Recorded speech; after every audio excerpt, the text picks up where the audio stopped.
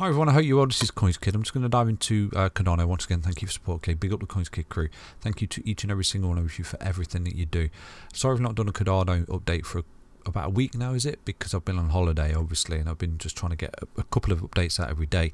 But I'm home now, so I'm going to get Cardano out every day to just keep you updated. Okay, so straight off the bat, you know, Cardano is broken out of this falling wedge. You fell back into it as support. You've held it as support, and right now, look, you're creating these high lows, and you basically got this kind of horizontal, boom, boom, boom, boom, boom. You come into the apex. Once you start to break out, you're looking at retracement to all these highs. Okay, we are looking at a relatively bullish couple of months here for Cardano and crypto in general. You know, and, and the appreciation of the total market capitalization of crypto. We're looking at, I think, 4.6 trillion and then beyond, you know, and, and Cardano obviously will have a market share of that. So just be patient. It's what doing. It's consolidating in a range, okay? You're broken out kilo resistance just here, fell back into support, holding it for continuation.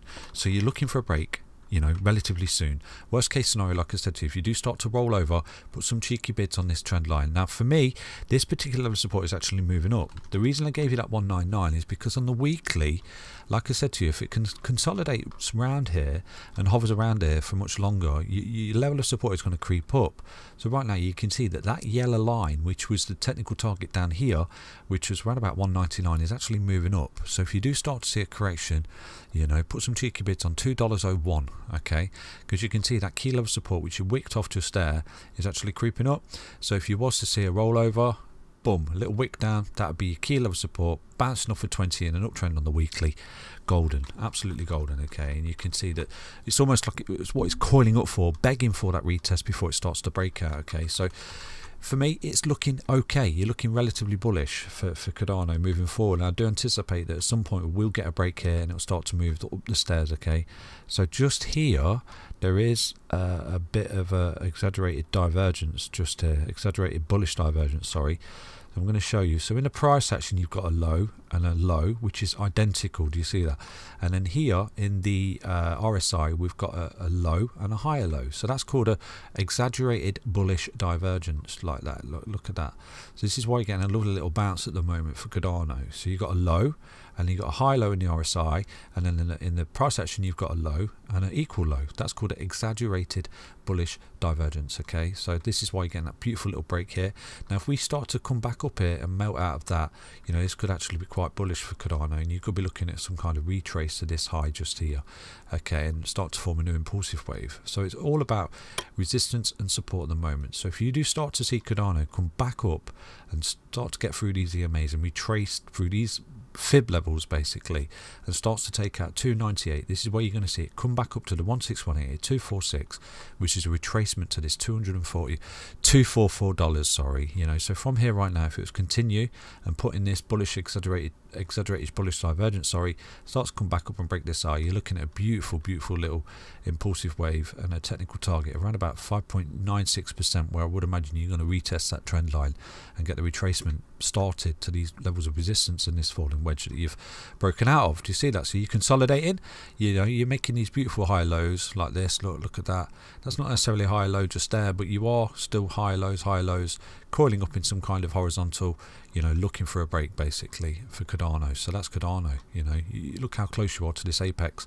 So if you do start to move up here right now and start to break this white trend line you can see you're breaking out this huge horizontal and you're looking for the continuation here for Cardano and you're going to start the retracement coming up to there. Once you break that you're looking at that and once you break that you're looking at a retest of this all-time high. And obviously once you break that for Cardano you're looking at that white trend line, which is $4.11 in this bull market, you know, and you're fully aware that once Cardano does break out of key levels of resistance, it can move really, really swiftly. Okay, so do anticipate that once it starts to break out these levels of resistance, it could absolutely march onto a four dollars twelve relatively quickly. You know, so we could be looking at quite a bullish month here, uh, moving forward in November for Cardano once it breaks out these key levels of resistance. So that's basically Cardano. You know, worst case scenario, you you fall out of this horizontal. You know, it's not bullish as we think.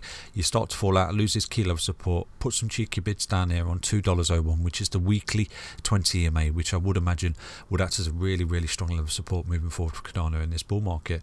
Uh, one thing I'm going to do is take a look at Cardano versus Bitcoin right now because I think it's getting absolutely smashed up, isn't it? So on the daily time frame here, you're getting really, really overextended from the EMA. So that's actually a really, really good thing.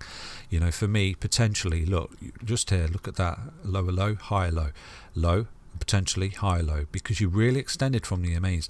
And just like I said, when you're going up and you're getting too far away from the EMAs, you always come back to them as support. And it's the same uh, in, in, in, you know when you're falling. If you get overextended, you always come back into them as resistance. So for me, you know, you Cardano could put in a bit of a beautiful double bottom pan just there, like it did here. Getting a little bit of extended, came down, made a low, a high low, and then you broke out. Look at that. So right now, a low, potentially if you're putting a beautiful double bottom pattern, and you break that level of resistance just there, you're looking to retrace, to retest these levels of resistance, these EMAs, tighten them up, at least test them as resistance, something you've not done since way back here on the 30th of September. So you've basically gone a whole month without testing uh, the, the EMAs as resistance. That, my friend, is begging for a retest. So you're going to cool down here, ascend, possibly, hopefully, cool down, you know, come back up, break this level of resistance in the WW bottom pan, start to come back up, and you can see you're putting a high low, high high, you know, and you've basically come down like this, like this, and you're starting to coil and move back up the stairs for, for Cardano here, you know, retracing to this 786 uh, technical target. So that's basically Cardano. Stay healthy, stay strong, stay tuned, and take care everyone. Thank you for support. Bye bye.